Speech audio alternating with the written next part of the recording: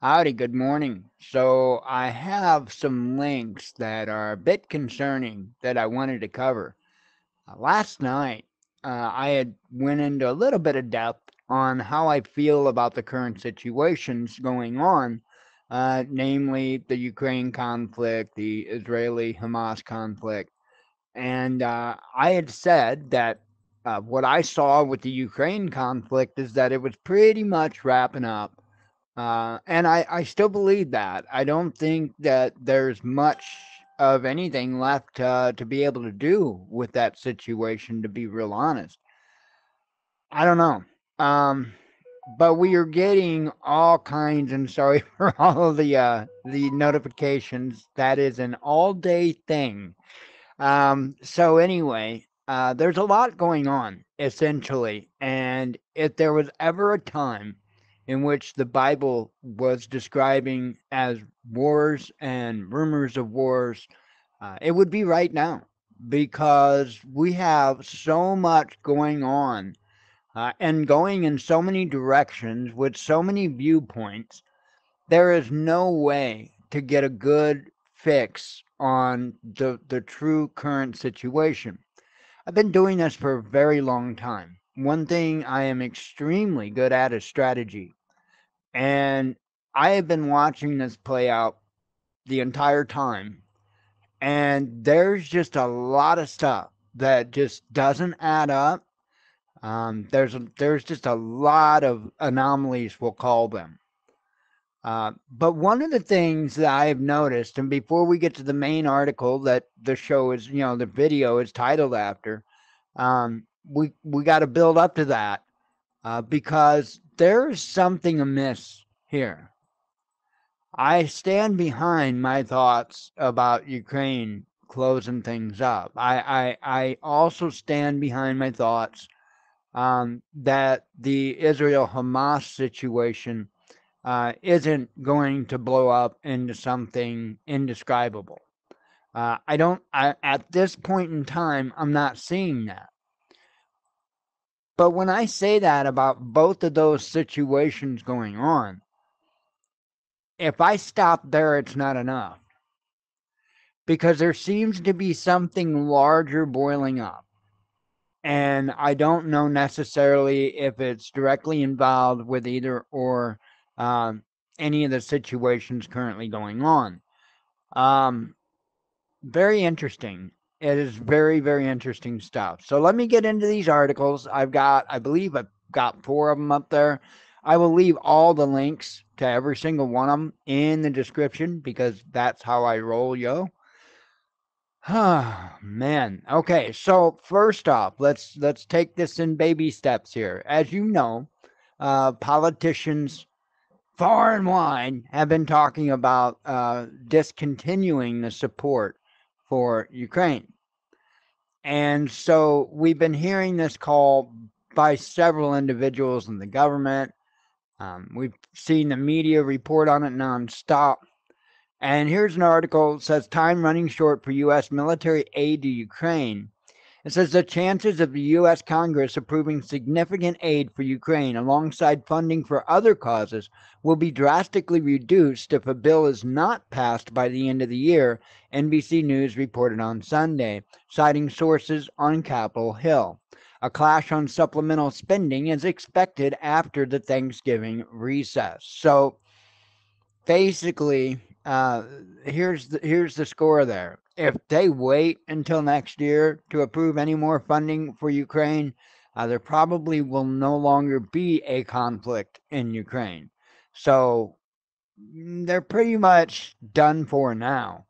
I don't know, to be honest, how much help we give them is going to have an effect on the outcome. Uh, the only thing is, I think more Ukrainians killed to be quite honest.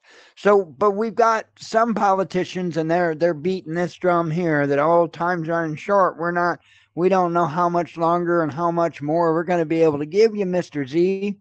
And uh and then, you know, you would think that sounds pretty crazy, right? You would think uh that is insane. Let me get my mouse back so I can do the clicky. And Pentagon chief, look at this, makes surprise visit to Kiev. Huh. So let me get this straight. You released information on how time is running short for Ukrainian aid. You released information saying that it may not even come, but then you send this cat to go talk to them in person. Gotcha. U.S. Secretary of Defense Lloyd Austin has arrived in Kiev on an unannounced visit, the Pentagon said on Monday. He held meetings with the Ukrainian leadership to provide reassurance about Washington's commitment to providing military assistance to Ukraine, the statement said. However, no specific new aid packages were announced. I'm here today to deliver an important message. The United States will continue to stand with Ukraine, Austin wrote in a post on X as he shared a photo of himself being welcomed by the Ukrainian officials at a railway station in Kiev. Later, he also said he had talks with Ukrainian President Vladimir Zelensky and once again promised the United States steadfast support for Ukraine. He added that Washington and its allies would provide for both the Ukrainian forces urgent battlefield needs and long term defense requirements. So, which is it? Is it drying up? Or are we making new commitments? I think both is probably the correct answer here. I really do. Um, on many levels to be quite honest but this is this is insane. So next up we've got nato sends military nato state sends military to russian border. Now this is what they're saying. I'll read the article. It says finland has deployed soldiers to reinforce the vardius crossing on its 1340 kilometer border with russia. Them racist people not wanting people just to go over their border. Geez the troops were sent to the checkpoint, one of the four that remain in use, following Helsinki's decision to close southern crossings amid accusations that Russia is funneling migrants and asylum seekers from third countries to the Finnish border. Really? You know, because we have members of our government that's doing the same damn thing to us. What a quinky dink. I wonder, I wonder. Nah. Anyway, it, it continues to say at the Vardius border station in Kumo, temporary barriers are being built in the border area. Racist people building walls. You see this? The defense forces support the border guard in construction tasks. Helsinki's border guard said on X on Sunday, adding that the soldiers were not involved in controlling the border itself. Ah, that makes it okay. Yeah, that makes that's the cherry on top. That makes it okay. I'm kidding. I don't give a damn either way. But I have to ask, is this really the reason they're sending military to the border? Remember a moment ago when I said it seems like there's something much larger at play here? Russia is moving full force forward and getting ready. They are they are pulling out the stops, folks. They really are. Here's the article that this video is titled from. Again, all links will be down in the description and first comment because for some reason it's hard to see one or the other on a mobile device. So I put it both places. So it's titled Destroys London, France, Texas in Six Minutes 1st Sarmat Regiment in combat positions, meaning being put into service. Russia goes head to head with NATO with unstoppable strategic weapon. So let's unbury this. it says Russia is placing the 1st Sarmat Intercontinental Ballistic Missile Regiment into combat service in the Strategic Missile Forces, according to revelations by TASS, a well informed source close to the Russian Defense Ministry. The 1st Sarmat Regiment, consisting of several missile silos, enter, enters combat service as part of the Uz, um, Uzhur formation of Strategic Missile Forces in December 2023, the source said. According to the existing practice in the Strategic Missile Forces, a command post of one regiment and two missile silos are first placed into combat service, and then their number is gradually increased. In September, the Ministry of Defense had confirmed that the first test launch of the Sarmat development was successfully completed on April 20th of 2022. So you may be wondering, what is the Sarmat exactly? We're going to go ahead and run through this for the people that don't know. The Sarmat, which stands for Satan 2, um, well, I don't know if it means Satan. Uh, that the NATO code is Satan 2. I don't know if Sarmat stands for Satan or not. It's a heavy intercontinental ballistic missile system. The launch weight of the missile exceeds 200 tons, while the range of the missile reaches 18,000 kilometers. Putin first spoke about the Sarmat strategic complex during his speech to the Federal Assembly in March of 2018.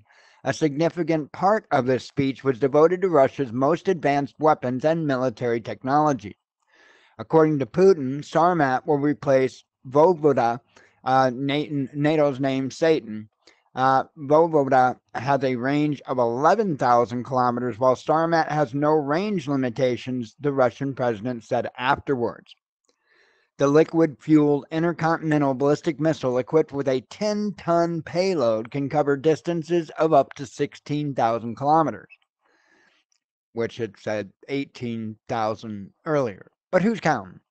In addition, the missile will be able to carry a combination of thermonuclear warheads and expendable countermeasures to neutralize the enemy's anti missile defenses.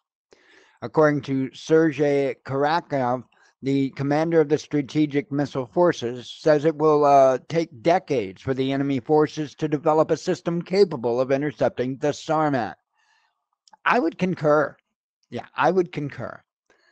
Uh, it can wipe out France or Texas, London in six minutes. According to the expert estimates, it can destroy any defense and wipe out entire countries.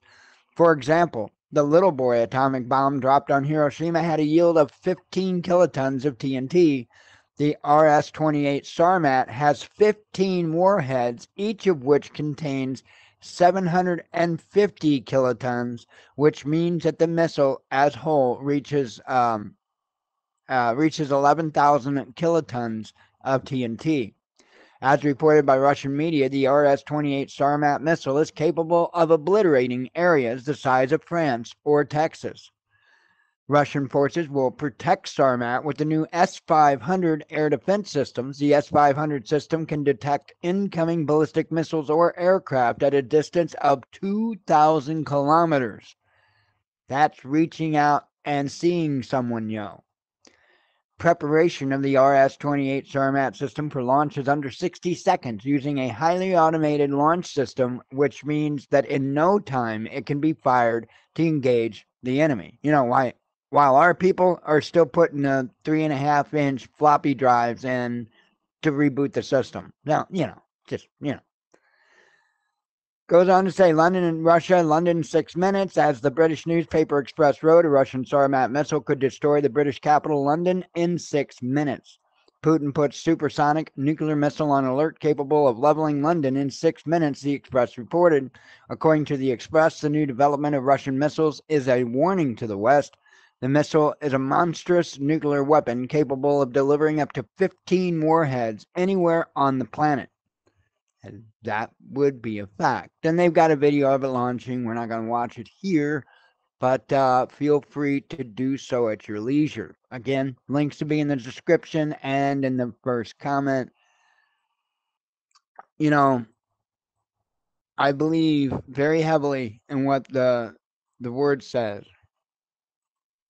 We are warned about it coming like a thief in the night.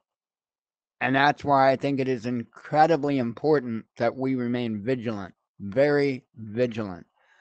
When it comes to nuclear weapons, our entire lives can be turned upside down in a matter of moments. And it doesn't even have to be as a result of a, a device going off in your AO. Anywhere in the world, if there is a trade of nuclear weapons, everybody's going to feel it one way or another. Mostly, how I think we'll feel it in the United States, even if there's not a single device set off within our borders. Where we're going to feel it is the loss of imports. because I guarantee you that much of the world at that point is going to stand still. Just one more reason to make sure that you've got what you need to hold you over for whatever period of time that you can manage to do. Again, I think there's something much larger at play here that's not actually being talked about, that's not actually in the news. Keep your eyes open, keep your preps near, and be ready. Hope to see you later on for the live show. Shalom.